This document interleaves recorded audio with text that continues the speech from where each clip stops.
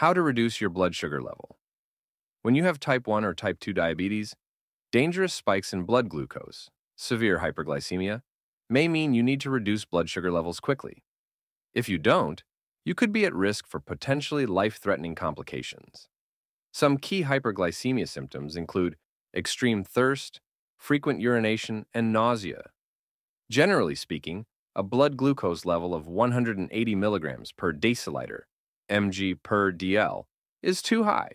But any blood glucose level, BGL, above your target range is cause for concern.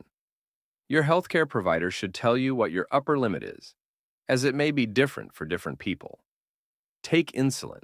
The preferred and quickest method of lowering your glucose level is to take rapid-acting insulin such as Humalog, Novolog, or Apidra. If you have type 1 diabetes, you may be able to get a correction dose through your insulin pump as well. Slow-acting insulin, such as NPH, does not lower blood sugars quickly. It takes several hours to work. Therefore, it's not an appropriate treatment when you urgently need to bring down your BGL. Insulin works by moving glucose from your blood into your cells. There, you either use it for fuel right away, or your cells store it for later when you don't have enough ready energy to meet demands. When the body doesn't have enough insulin, type 1 diabetes, or doesn't use it efficiently, type 2 diabetes, it can lead to short-term symptoms and complications, like diabetic ketoacidosis, DKA, and hyperosmolar hyperglycemic state, HHS. Be sure you talk to your healthcare provider about how much rapid-acting insulin you should take to bring down dangerously high BGL. Once you've had the shot, recheck your levels in 15 to 30 minutes to see whether they're coming down and how fast. Sometimes levels will go too low and you'll end up with hypoglycemia, low blood sugar levels. If your BGL doesn't drop right away or doesn't come down as fast as you'd like, resist the urge to take more insulin too soon. This could lead to hypoglycemia. Rapid-acting insulin may start working in 15 minutes, or it may take up to an hour. A BGL of 240 milligrams per deciliter puts you at risk for diabetic ketoacidosis. Regular readings of 600 milligrams per deciliter or higher could lead to hyperglycemic hyperosmolar state. Both of these conditions can be fatal and require emergency medical treatment. Intramuscular injections. Injecting your insulin directly into a muscle can help your body absorb it more quickly. However, it's also more likely to lead to hypoglycemia, which may become severe. It can also cause a potentially fatal insulin overdose. Talk to your healthcare team about whether intramuscular injections are a good idea during hyperglycemic episodes. They can also tell you where and how to give yourself this kind of injection. Take missed medication. Many people with diabetes take prescription medications other than or along with insulin. These medications help keep your blood sugar within the normal range. Missing a dose of these medications can make your BGL high. If you're surprised by a high reading, check to make sure you took your last dose. Keeping them in a daily pill sorter instead of a bottle makes this simple. However, many diabetes drugs only work if they're taken before you eat. They won't help lower a dangerously high BGL. These include biguanides, such as metformin and alpha glucosidase inhibitors, like acarbose and Glyset, miglitol. Diabetes medications that can bring down your BGL quickly include meglitinides, nateglinide, and repaglinide, sulfonylureas, Diabinese, chlorpropamide, Amaryl, glimepiride, glucotrol, glipizide, Glynase, glyburide. Timing of a makeup dose. If you miss a dose of your diabetes medication, take it as soon as you remember. But don't double up by taking your missed medication too closely to your next scheduled dose. This can cause dangerous side effects. When in doubt, check the medication packaging for guidance, contact your healthcare provider, or talk to a pharmacist. If you miss several doses, contact your practitioner about the best course of action. Treating the lows of hypoglycemia. BGL between 55 milligrams per deciliter and 69 milligrams per deciliter. Eat 15 grams of carbohydrates and recheck BGL in 15 minutes. BGL below 55 milligrams per deciliter. Call 911. Inject glucagon, glucagon hydrochloride, if available. If conscious, drink juice or sugary soda, then eat carbohydrates with protein, e.g., cheese and crackers. Exercise.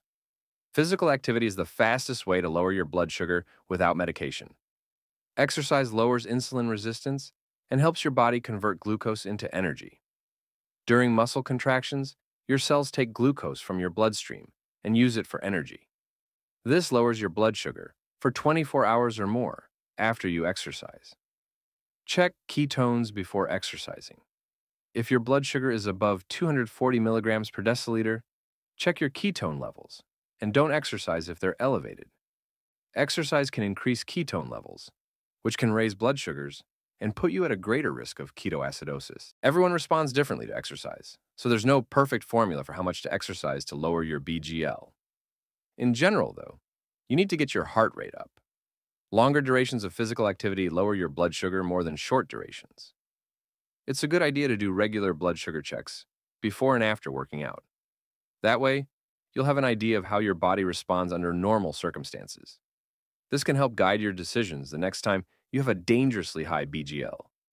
Drink water. When you have an episode of severe hyperglycemia, water and other unsweetened fluids can help your kidneys flush out excess sugars through your urine. While it may not be as fast as rapid acting insulin or exercise, it can help get you to a safe BGL. Staying hydrated may help you prevent hyperglycemic episodes as well. Most people need about 4 to 6 cups of water each day. If you work out frequently or tend to sweat a lot, you may need more. If you take medications that cause fluid retention, you may need less. Ask your healthcare provider about your daily water needs and about how much to drink if you have a spike in blood sugar, causes of hyperglycemia and diabetes, eating too many carbohydrates, not getting enough physical activity, illness or infection, taking a corticosteroid like prednisone, skipping or not taking enough glucose-lowering medication. Watch your carbohydrates. Carbohydrates make your blood sugar rise. There aren't any foods you can eat that will reduce your blood sugar immediately. However, you can improve your body's ability to manage glucose over time by eating good sources of carbs or low glycemic index foods. The glycemic index measures how different foods affect your blood sugar. High glycemic foods cause your blood sugar to rise quickly. Low glycemic foods have less impact on blood sugar. Examples of low glycemic index foods include oatmeal, steel cut, or rolled, legumes, apples, oranges, grapefruit, carrots, green vegetables, quinoa, milk, and yogurt. When to see a healthcare provider. Contact your healthcare provider for guidance if you have. Consistently high blood sugar readings frequent urination, high levels of sugar in the urine, diagnosed using at-home glucose dipstick test, increased thirst. They'll likely want you to make an appointment to go over treatment and lifestyle options for better managing your illness. When to go to the ER, call 911 or get to an emergency room if you have DOT 10. Hyperglycemia and elevated ketone levels. Sustained very high blood sugar levels. Symptoms of DKA or HHS two blood sugar readings of 300 milligrams per deciliter or above, blood sugar readings above 180 milligrams per deciliter, or your target range for more than a week's summary. Any blood glucose level above your target range is too high. In general, 180 milligrams per deciliter is considered dangerously high, and you should take steps to bring it down. You can lower blood sugars quickly with rapid-acting insulin, taking missed doses of oral medications such as meglitinides or sulfonylureas, exercising and drinking water. Watching your carbohydrates can help to prevent your blood sugars from rising too fast. Get emergency medical attention for readings in the danger zone plus high ketone levels, sustained high BGL, or symptoms of DKA or HHS. Contact your healthcare provider if you have consistently high levels, increased thirst, or frequent urination.